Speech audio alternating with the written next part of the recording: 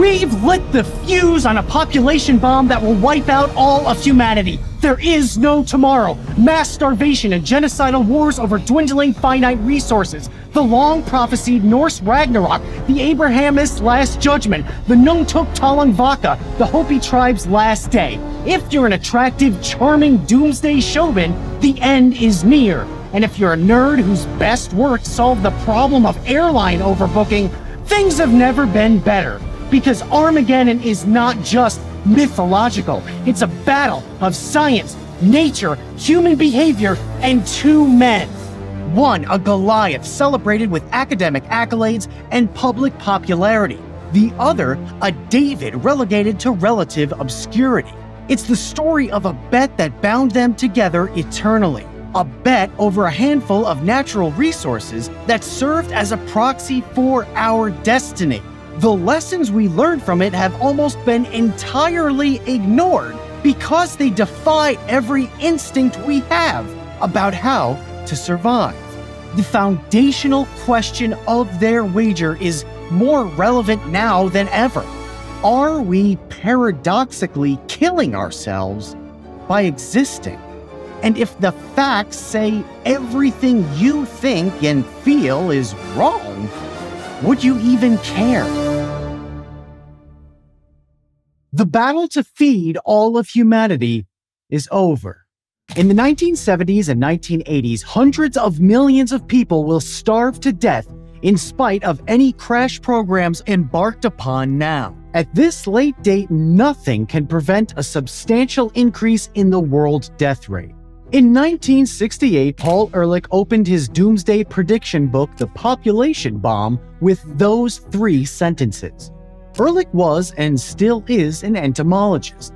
His particular field of study is butterflies, and four years before publishing a book that would change the world, he popularized a theory of coevolution the concept that natural selection doesn't happen in isolation, and that plants and insects can have a reciprocal relationship affecting both their evolutionary paths. He'd spent decades thinking about how the world and all the matter and life within its ecosystem worked minerals, water, plants, animals, humans, and he concluded that it didn't, or that it didn't anymore. He saw the end of the world as we know it, and he knew not only why it would happen, but he also knew how to stop it. When he was catching butterflies as a kid in 1930s New Jersey, his collection grew so large that it filled his bedroom, and he had to sleep in a different room. He had no idea that his life was on a collision course with a boy born in the same year living just a few miles away. Julian Simon's interest was ultimately in economics, and the clash between Ehrlich and Simon was a decades long debate to decide the fate of humanity and you. It's a debate over morals, mankind, and math, and nearly 200 years before the public wager between Paul Ehrlich and Julian Simon became the most famous bet in history, it started with a political economist whose students affectionately referred to as Webtoe. Thomas Malthus focused on economics and demography. In his 1798 An Essay on the Principle of Population, Malthus wrote that it has been said that the great question is now at issue whether man shall henceforth start forwards with accelerated velocity towards illimitable and hitherto unconceived improvement, or be condemned to a perpetual oscillation between happiness and misery, and after every effort remains still at an immeasurable distance from the wished for goal. okay. His lifespan almost perfectly covered the beginning and end of the Industrial Revolution, and he was at the center of it in Great Britain. It was an unprecedented period of innovation. For the first time, machines operated by a growing urban population wove textiles, which were then traded throughout a global market of raw materials and finished goods. Improvements in mining and refining made iron production soar and after 100 years, steam power had finally matured. Life was getting better fast. But if you watched my video on Ignaz Semmelweis and the disgusting state of medicine in the early 1800s, you know that it was also quickly getting worse. Despite all these material improvements and increases in overall wealth, human suffering seemed more severe than at any point in history. Poverty, disease, and strife ravaged the lower classes of the England that surrounded Malthus, and the environment was being degraded, The River Thames had been the lifeblood of the southeast of England since before Julius Caesar's invasion, and Malthus watched it turn into a cesspool in real time. Factories dumped waste directly into the river, including tannery chemicals and animal parts from slaughterhouses. Garbage was also just thrown in because why not? It'll just wash away, and it was the perfect outlet for human sewage. Treating the Thames like a living dumpster and infinite toilet killed wildlife, made London stink, and fueled cholera outbreaks that killed tens of thousands at a time. And it really stunk. July and August of 1858 is known as the Great Stink, and Michael Faraday described the Thames as feculence rolled up in clouds so dense that they were visible at the surface. The point is, Malthus was witnessing progress that even his grandparents couldn't have fathomed, and he was also seeing misery, social and biological putrefaction, and an obviously unsustainable future. He concluded that the problem was people. There were simply too many of them to feed. He wrote, It is an obvious truth which has been taken notice of by many writers that population must always be kept down to the level of the means of subsistence. To Malthus, the math is what made the threat of overpopulation so obvious, and the Malthusian catastrophe came down to comparing exponential growth to linear growth. Malthus argued that the human population left unchecked grows exponentially because people like having babies. In the 1700s, women of the lower class tended to have about eight children, with maybe five of them reaching adulthood. If two parents produce five kids, and each of those produce five more, and each of those produce five, your family grows from 2 to 7 to 32 to 157 in just four generations. That's an increase of 7,750% in the human footprint. And it was an economical problem too. The more people, the more available labor. The more labor, the lower the wages. And the lower the wages, the harder it is to get increasingly expensive food that everyone is competing over. Contrast that with an increase in food production that is not exponential. According to Malthus, the available farmland can only produce so much food. So people must starve by the millions to restore the balance. He wrote, Subsistence increases only in an arithmetical ratio, and that was that. In the battle of geometric versus arithmetic progressions, the geometric side is gonna win. Malthus tried to depict man as he really is inert, sluggish, and averse from labor unless compelled by necessity. To him, humanity was dumb and lazy, especially the poor. As Malthus wrote The Principle of Population, England was the pinnacle of modern civilization, but it was also in the wake of having suffered through a costly Seven Years' War, the loss of its American empire, and the day by day threat of instability and conflict from Napoleon Bonaparte's France. If everything that got better also made things worse in the greatest country in the world, why would he have an optimistic outlook on the rest of humanity's future? In 1971, Paul Ehrlich agreed. He said, by the year 2000, the United Kingdom will be simply a small group of impoverished islands, inhabited by some 70 million hungry people. I would take even money that England will not exist in the year 2000.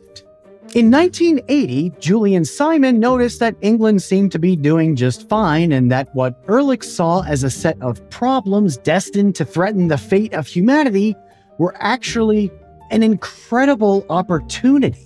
The really interesting thing about Julian Simon is that he started out agreeing with Ehrlich. In the 1960s, he published articles arguing the importance of family planning, encouraging people to limit births on economic grounds. His path to economics was circuitous. He studied experimental psychology at Harvard, where he drove a cab, sold encyclopedias, and played poker to support himself. He also worked in a tin can factory, a grass seed factory, and a brewery, so he knew dirty work and manual labor, and he knew the problems with both. After college, he enlisted in the Navy and spent time in some of the less glamorous working ports of the world where he saw the struggles of poorer populations and the positive and negative impacts of mechanization. He left the Navy and took an interest in business and economics, studying in a University of Chicago department energized by the work of Milton Friedman and Friedrich Hayek. Through the 60s and 70s, he noticed that the lives of the most vulnerable people in the world were improving. And he did what virtually no academic does now changed his mind. Just like Malthus, it's important to understand the time in which Simon and Ehrlich kicked off their debate. When Ehrlich published The Population Bomb in 1968, the world was one generation removed from the most terrible and destructive war it had ever seen. Total military and civilian deaths from World War II and its effects were more than 80 million, and the war ended with the debut of the most terrifying weapon ever created. We'd spent the 20 years since worrying about which of the two global superpowers would use it on the other. Meanwhile, in the United States, social conflict drove riots in major cities. The last president had been assassinated, and in 68, both Martin Luther King Jr. and Bobby Kennedy were killed right as dissatisfaction with the Vietnam War was peaking. Countries like China and India were struggling to feed billions. Ehrlich was in the same situation as Malthus, sitting in the country with the world's highest standard of living what reasonable person would look at all that evidence and conclude that, you know what, things are actually pretty good? Environmentalism had also branched out from the simple conservation of the Teddy Roosevelt era. By the time Rachel Carson published Silent Spring in 1962, which detailed threats from pesticides used in agriculture, including DDT, a radical movement was already happening. David Attenborough said that her book changed the scientific world the most behind only Darwin's Origin of Species. And it opened up the floodgates not only on exposing problems in the environment, but rushing to fix them. Also in 1968, ecologist Garrett Hardin published The Tragedy of the Commons, which tapped the metaphor of a public, unregulated plot of land used rationally by individuals to the point of total obliteration. Hardin wrote, Freedom in a commons brings ruin to all. And the message was that left to our own devices, we were going to destroy everything. Modifying human behavior is hard. The simplest solution was restricting the ability to make humans at all. And if we didn't do it ourselves, nature would end up doing it for us. In the 1969 essay Eco Catastrophe, Ehrlich wrote that the shape of the population growth curve is one familiar to biologists. Because, like butterflies who interact with and depend on their environment, populations swell and shrink based on what that environment can provide. He called it the outbreak crash sequence, in which populations rise in times of abundance and crash or completely disappear when that abundance stops. A year later, he wrote in Audubon that we've had most of the outbreak, what remains is mainly the crash. The world population at that time was 3.7 billion and growing at a steady 2% per year, which put it on pace to reach 7 billion in 50 years. Malthus had already outlined two types of interventions to diffuse what would eventually become Ehrlich's population bomb preventative checks and positive checks. A preventative check is an act that controls population by reducing fertility rates. deciding not to have kids, limiting the number of children parents can have, like China's former one child policy, and the wider availability of both contraception and abortion. A positive check is actually not that positive. It's something that limits the human lifespan, like war, disease, famine, or murder. It can be an active or passive depopulator, and you might be surprised at how many academics were happy to mete out misery in the name of eco justice. In their 1967 book, Famine 1975, brothers William and Paul Paddock proposed that the United States should limit its foreign food aid based on the social behavior of countries with growing populations. They categorized Egypt and India as can't be saved, so no food for them.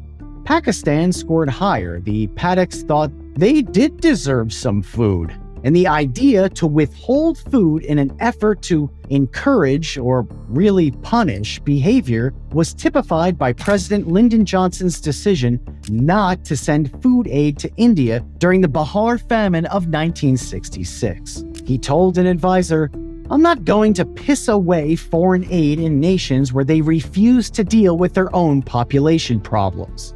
Ehrlich supported food punishment. He said, I have been citing Paddock's work in all my recent talks on the population crisis, and he called food punishment coercion for a good cause. Because India was, quote, hopeless. It was India that actually inspired Ehrlich to start thinking deeply about the population bomb. He had traveled to Delhi in 1965 with his family, and what he saw was like a reboot of London in the time of Malthus. My wife and daughter and I were returning to our hotel in an ancient taxi. The seats were hopping with fleas. The only functional gear was third. As we crawled through the city, we entered a crowded slum area. The temperature was well over 100 and the air was a haze of dust and smoke. The streets seemed alive with people. People eating, people watching, people sleeping, people visiting, arguing, and screaming. People thrusting their hands through the taxi window, begging. People defecating and urinating. People clinging to buses. People hurting animals. People, people, people, people. As we moved slowly through the mob, hand horns squawking, the dust, noise, heat, and cooking fires gave the scene a hellish aspect. Ehrlich knew something had to be done.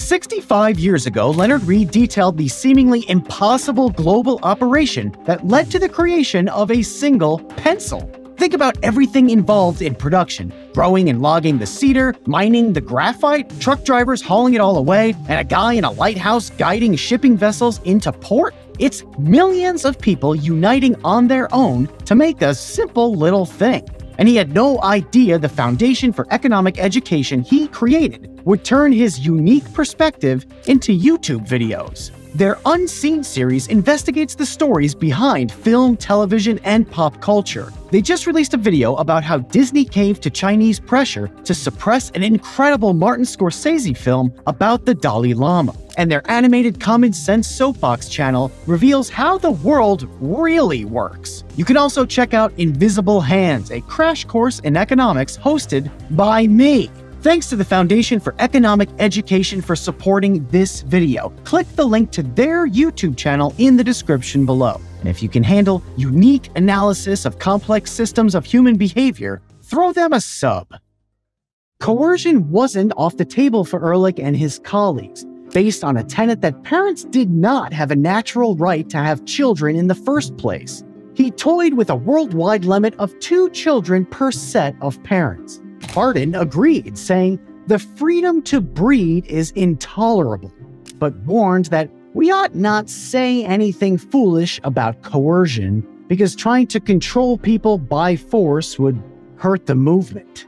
In the population bomb, Ehrlich said that the government should take whatever steps are necessary to establish a reasonable population size in the United States, with a Department of Population and Environment that could fund research into mass sterilizing agents.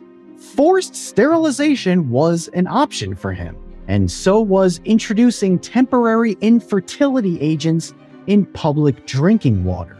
He said that humanity will wake up one day to find that compulsory birth control offers the only hope of survival. Some of his allies became increasingly nervous about the implications of Ehrlich's more radical ideas, including members of the group he founded called Zero Population Growth, which still exists, now called Population Connection, when they realized that the targets of their global sterilization efforts were not going to be well educated, well off white people. But Ehrlich wasn't the only one sounding the alarm on a grand scale. 100 politicians, diplomats, economists, and business leaders had founded the Club of Rome in 1965, and their 1972 The Limits to Growth, a report for the Club of Rome's project on the predicament of mankind, presented an MIT computer model factoring in population, food production, industrialization, pollution, and consumption of non renewable natural resources. They called for an absolute halt to economic growth, warning that without it, industrial production would collapse, population would suffer a catastrophic decline, and the air, sea, and land would be polluted beyond redemption. And the right time to intervene wasn't today, it was actually yesterday. Because the collapse will not come gradually, but with awesome suddenness, with no way of stopping it. The movement's most radical ideas became reality in India as part of a forced sterilization program in 1975. The BBC described the initiative. The drive to sterilize began in the 1970s when, encouraged by loans amounting to tens of millions of dollars from the World Bank, the Swedish International Development Authority and the UN Population Fund India embarked on an ambitious population control program. During the 1975 emergency, when civil liberties were suspended, Sanjay Gandhi, son of the former Prime Minister Indira Gandhi, began what was described by many as a gruesome campaign to sterilize poor men. There were reports of police cordoning off villages and virtually dragging the men to surgery. 6.5 million Indian men were sterilized in one year, which was 15 times more than the Nazis sterilized, and about 2,000 of those men died from surgical complications. In the Population Bombs chapter called What Needs to Be Done, Ehrlich writes When we suggested sterilizing all Indian males with three or more children, he should have encouraged the Indian government to go ahead with the plan. We, the United States, should have volunteered logistic support in the form of helicopters, vehicles, and surgical instruments. We should have sent doctors to aid in the program by setting up centers for training paramedical personnel to do vasectomies. Coercion? Perhaps, but coercion in a good cause. His priority was to systemically eliminate the world's fastest growing populations which were almost exclusively poor and non white. Even in his oh. days of population concern, Julian Simon had a softer approach than Ehrlich or the Club of Rome. He argued that avoiding a birth cost a developing nation about $5 and that it would save 114, which he called a fantastic bargain, and proposed offering payments to families not to have children as a mutually agreeable preventative check. His ideas rewarded people for their choices instead of sterilizing them against their will. But Simon eventually started to realize that people don't work like butterflies. When he studied family dynamics and their economic rationalism, he found that increased income drove different behaviors among families. Small families used additional money to have larger families, and larger families didn't. Education levels had a marked effect on reproduction and still do. He looked to works from Simon Kuznets and Richard Easterlin, who concluded that a larger population means more creators and innovators, and Esther Boserup's work that showed population density determines the type and scale of agricultural production and its efficiency. Simon realized that population growth was a lot more complex than Ehrlich made it out to be, and not simply subject to the conceptual human impact equation that Ehrlich created, which was impact equals population times affluence times technology. IPAT. But Ehrlich was the guy everyone wanted to talk to. He was young, attractive, and highly charismatic, which made him totally unlike most academics. He was really funny and likable as he detailed humanity's impending doom, which is why he was a guest on The Tonight Show over 20 times. Here he is with Johnny Carson talking about why he thinks the benefit of a growing population just isn't really there. Why don't we try doing a really good job with 4 billion people? See if we can do that. After we got 4 billion people well taken care of in a clean environment with good health, everybody's fed and everybody has opportunities and so on, right. then we can say, gee, all right, maybe we could do with five. What would be the advantage of five? Well, there would be another half a billion women, for instance, which I would find. You like that? Advantage. Yeah, right. But, but, uh, I just as soon have the 4 billion taken care of right first. I think left. Yeah, I think you're right. Michelle. Ehrlich was masterful at presenting the science of demographics and environmental impact in moral and emotional terms. Do you want kids to starve? Well, no. Do you want to perpetuate human suffering? No. Do you want to see the destruction of Earth, the human race, and all plant and animal life? I don't know, probably not.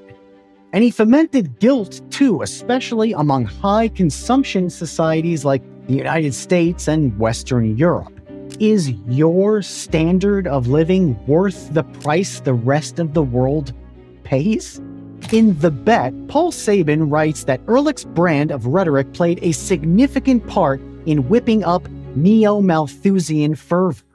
He points to a review of Ehrlich's 1970 book, Population Resources Environment Issues in Human Ecology, by Roger Revelle, who founded Harvard's Center for Population Studies, that highlights Ehrlich's use of incendiary language. Staggering, sobering, disaster three times, enormously, drastically, catastrophic, dramatically, tremendous, highly lethal, extremely dangerous twice, especially virulent, more severe, extremely fortunate, extremely vulnerable, almost total, high potential, renewed specter, not gruesome enough, colossal hazard, biological doomsday, super lethal, and disastrously effective. Revelle noted what he called apocalyptic adverbs and adjectives because that list I just read appeared in only four pages out of a book of 300. Ehrlich had become a celebrity on TV, was writing in Playboy, and Julian Simon was not happy. The 70s brought a series of energy crises, starting with the 1973 oil embargo that resulted in a 43% increase in the price of gas, gas rationing in California based on license plate numbers, and serious fears about dependence on fossil fuels. So Ehrlich was looking pretty smart. But Simon insisted that population growth and its global problems should thrill rather than frighten us. How? How could he look at a world in crisis and possibly think that? Simon had spent the 70s writing about all the reasons the Ehrlich style doomsayers were wrong. Wrong about their models, wrong about humans, and really just wrong about the way the whole world works. And he was writing, seemingly, to no one. In a 1997 interview with Wired titled The Doomslayer, he said, Seeing Ehrlich tout such damaging theories absolutely drove me out of my skull. Here was a guy reaching a vast audience, leading this juggernaut of environmentalist hysteria, and I felt utterly helpless. What could I do? Go talk to five people? Well, the truth of the matter is, even those five people didn't want to hear that between 1800 and 1980, the price of wheat in the United States dropped precipitously despite the population growing by about 4,500%. It didn't matter that Simon found that population did not actually increase geometrically, and birth rates had even begun to fall in developed countries, including below replacement rate. which is the minimum number of babies born to maintain current levels of population. In 1950, global life expectancy was 45. By 1980, it was 61. And that happened due to better medicine, better technology, greater food production, and greater wealth. That's about a 35% longer life in 30 years. All his frustration led to an article that brought Simon and his optimism into the international debate over humanity's future. In the June 27, 1980 issue of Science, Simon published Resources, Population, Environment, an oversupply of false bad news. And the introductory summary says it all. False bad news about population growth, natural resources, and the environment is published widely in the face of contradictory evidence. For example, the world supply of arable land has actually been increasing. The scarcity of natural resources, including food and energy, has been decreasing. And basic measures of U.S. environmental quality show positive trends. The aggregate data show no long run negative effect of population growth upon standard of living. Models that embody forces omitted in the past, especially the influence of population size upon productivity increase, suggest a long run positive effect of additional people. Simon completely decimated claims that arable land had decreased worldwide. Instead, he noted that cultivated land was rising at 1% per year. He showed that farmers in industrialized nations were producing more food on less land. As populations grew, people were getting better at farming, and technology was making it cheaper and easier with fewer people involved. To the charge that the world increasingly struggled with food, Simon showed that per capita food production had also grown at about 1% per year. Now, it wasn't good news, yay, yay, yay, cotton candy and sunshine all around, and it never will be. Simon was honest about that, but he made the distinction that the food problems in vulnerable countries were overwhelmingly the result of restricted markets, war, and political instability. He called out the New York Times, the United Nations, the World Bank, and, of course, Ehrlich. And he lamented the reliance on faulty computer models that delivered grim and ultimately wrong projections about our future. He concluded that population growth and productivity increase are not independent forces running a race. Rather, additional persons cause technological advances by inventing, adapting, and diffusing new productive knowledge. He also wasn't the first to challenge Malthus and Ehrlich on these grounds, and he had some unexpected allies throughout history. Karl Marx called Malthus a plagiarist, a sycophant, and a Reverend Scribbler. And Engels refuted Malthus's concept of nature's inevitable processes, writing that the determining factor in history is the production and reproduction of the immediate essentials of life. Marx and Engels saw the solution in a tightly controlled collectivism that would eventually become communism, while Simon pointed to the power of freedom and markets, but they all believe that the way we organize society can address population problems that seem hopeless, but aren't. Economist Henry George stated the difference most simply in his 1879 Progress and Poverty, saying, Both the Jayhawk and the man eat chickens, but the more Jayhawks, the fewer chickens, while the more men, the more chickens. Monarch butterflies eat nectar produced from flowering plants. If there's not enough nectar to support the monarch butterfly population, some of them die until it reaches a sustainable level. But if humans have restricted access to a particular resource, like corn or something, or it becomes too expensive, we can just use something else. Simon argued that humanity has two superpowers adaptability and innovation. We can invent, we can improve, and we can substitute, all of which constitute less of a threat to resources than Ehrlich thought. Because to Simon, those finite resources aren't nearly as finite as they seem. He used copper as an example, saying that we can't calculate future quantities of copper because new lodes, new methods of mining copper, and variations in grades of copper lodes, because copper can be made from other metals, and because of the vagueness of the boundaries within which copper might be found, including the sea and other planets. And even less possible is a reasonable calculation of the amount of future services of the sort we are now accustomed to get from copper because of recycling and because of the substitution of other materials for copper, as in the case of the communications satellite. Translation We are good at finding more, we're getting more efficient at extracting it, we're using it more smartly, and how we use it now doesn't have any bearing on how we'll use it in the future if we use it at all. Simon wrote in Science that we have so much bad news about the world because that's where the funding is for researchers, and that late night talk shows don't have guests who talk about everything getting better. But he also said that the cumulative nature of exponential growth models have the power to seduce and bewitch, especially because so many people compare the present with the potential future, idealized or awful, instead of comparing the present to the past. Simon and his growing rank of optimists were derided as adhering to cornucopianism, referencing the Greek mythological horn of abundance that produced food and never ran out. Ehrlich said Simon was like the guy who jumps off the Empire State Building and says how great things are going so far as he passes the 10th floor.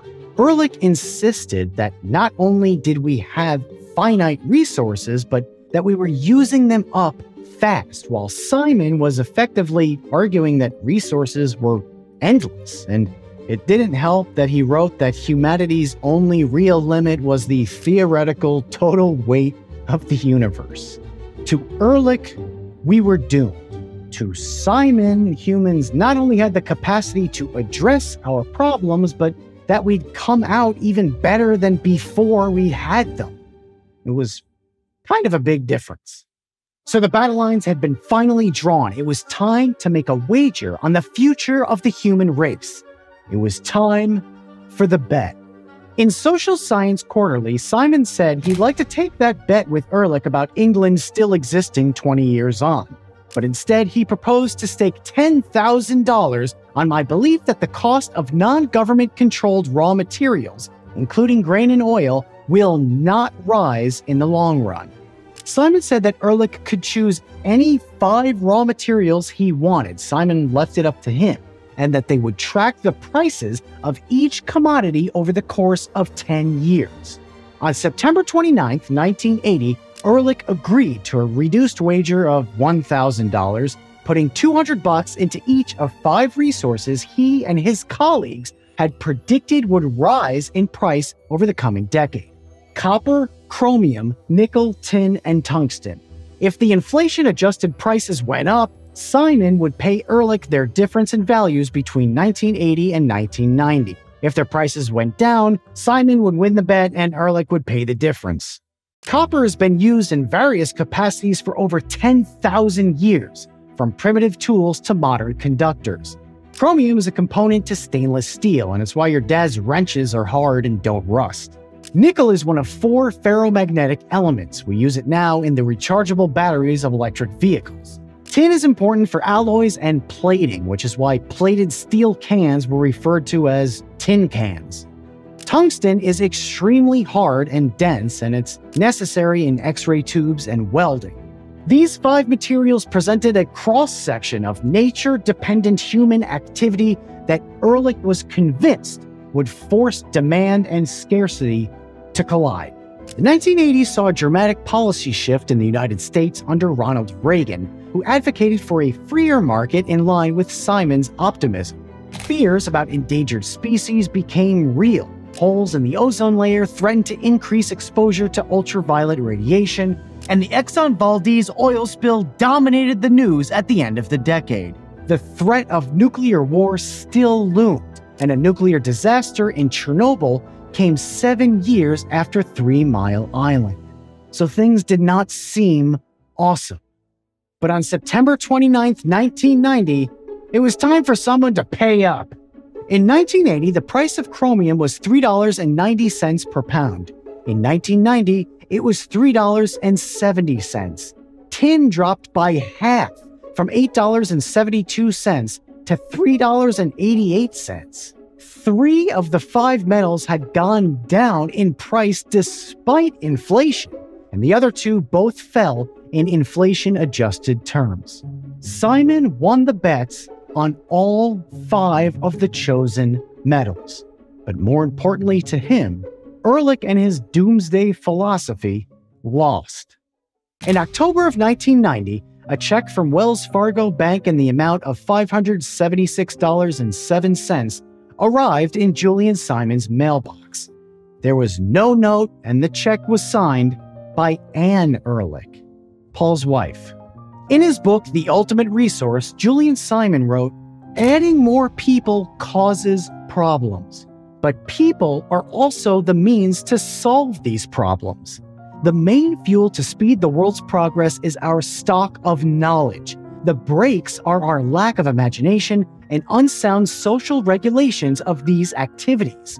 The ultimate resource is people, especially skilled, spirited, and hopeful young people endowed with liberty, who will exert their wills and imaginations for their own benefits. And so inevitably will they benefit the rest of us as well. It was truly a triumph of hope and optimism over doom and gloom. Or did Julian Simon just get lucky? A 2009 paper called Luck or Skill An Examination of the Ehrlich Simon Bet reveals that had the bet been run one more time from 1990 to 2000, Simon would have triumphed again. But had the wager taken place for any of the possible 98 10 year periods between 1900 and 2007, Ehrlich would have won 61.2% of the time. So maybe Ehrlich was right. Nah, actually, the data shows a massive crash in commodities prices following World War I, which means they spent the rest of the century slowly rising back to their former levels, creating an artificial bias towards Ehrlich's rising prices theory and proving Simon's exact point about the power of human cooperation, or in the case of a world war, the lack of cooperation, to determine how we use and value resources. It's really easy to look at the results of the Ehrlich Simon wager and scoff at the loser, and it's even easier to revisit failed doomsday predictions of a disappearing England and worldwide famine killing billions and laugh at how wrong it all was. It's much harder to understand why those predictions happen in the first place and why it's completely natural to think everything is bad and getting worse. It's why the doomsayers are so seductive and popular, and why the doomslayers aren't just ignored, they are hated. In 2016, Swedish physician Hans Rosling was diagnosed with pancreatic cancer. He began writing Factfulness 10 Reasons We're Wrong About the World as what he called his last battle in my lifelong mission to fight devastating ignorance. It was published in 2018, a year after he died. Rosling detailed 10 human instincts that conspire to convince us that the world is forever going in the wrong direction, which can inform devastatingly wrong reactions to our problems. The first is the gap instinct which is to consider the differences between the top and the bottom rather than focusing on the majority or whether all levels of society are improving in spite of relative differences. And he argues that our negative instinct programs us not to bother noticing improvements at all. Our straight line instinct causes us to assume that our current trends will continue exactly as they are right now rather than accelerating or decelerating. And our fear instinct distorts our perception of risk to make us overvalue possible negatives. Our size instinct makes us feel overwhelmed by the sheer scale of a problem as our generalization instinct lumps all our problems together as being equally threatening. And our destiny instinct makes us feel like none of our problems ever get solved, even though they tend to get better slowly. Our single perspective instinct hyper focuses on just one possible solution rather than considering many solutions that work in combination. And our blame instinct makes us focus on the bad guys who we're convinced are responsible for the problem. But the most threatening might be the urgency instinct, which drives us to feel that there's an impending catastrophe if we don't do something immediately rather than one step at a time. Only a single comma separates do something stupid from do something stupid. Ehrlich may have been 0 for 5 on his bet with Julian Simon, but he's 10 for 10 on Rosling's checklist of instinctual pathologies. Paul Ehrlich is now in his 90s and he's vibrant, energetic, and still insisting that he's right or that he was never really that wrong.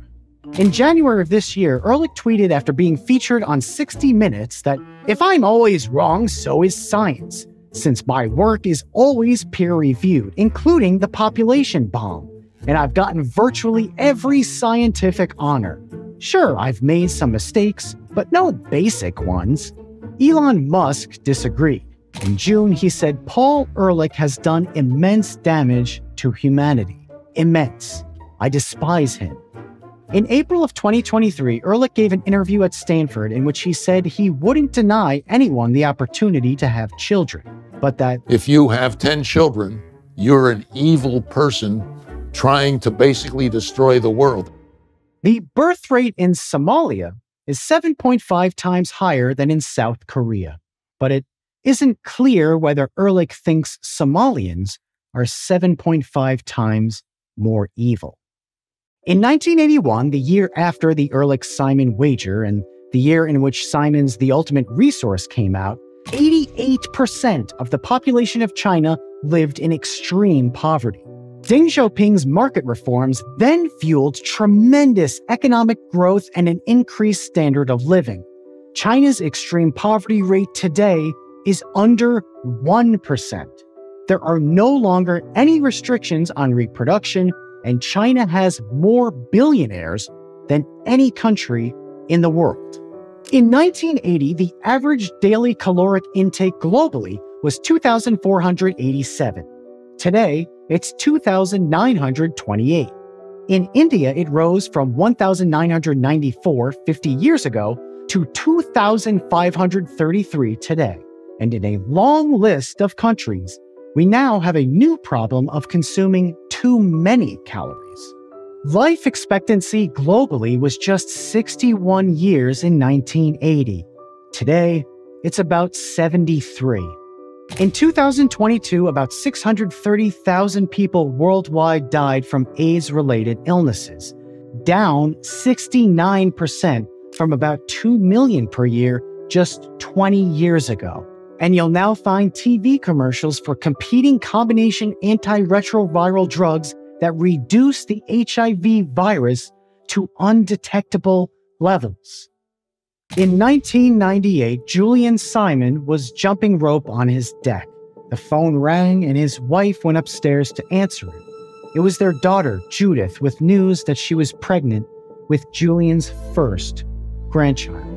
A grandchild that was not just one more mouth to feed, but another human with potentially unlimited creative capacity.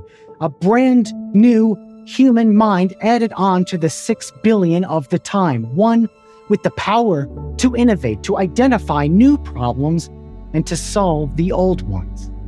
Or maybe just one more human to make life worth living not an insect whose primitive cerebral ganglia draws it into a flame to its own death, but a person who can harness that flame to cook, heat their houses, and smelt ore from the rocks they dig up. Julian Simon's grandchild would be one more soul in a world that he knew got a little better every day, even when it didn't feel that way. Julian's wife ran down the stairs to give him the great news. She found him dead on the living room floor. He'd had a heart attack at 65. Paul Ehrlich's population bomb theory was right about butterflies.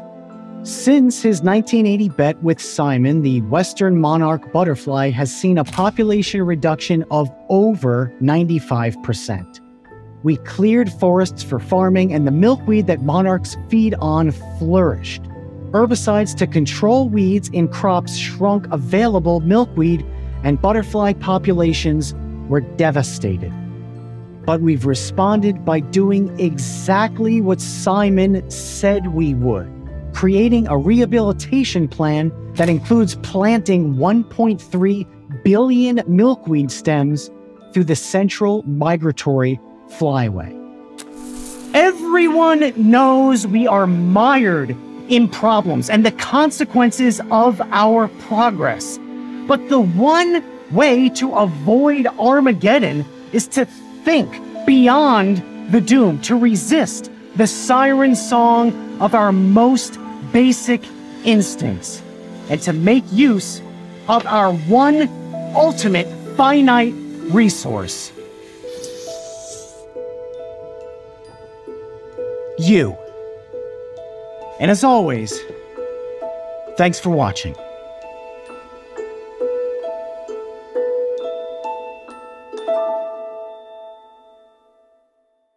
Because it has been agreed by the nations of the world that the earth can no longer sustain a continuously increasing population, childbearing is herewith forbidden.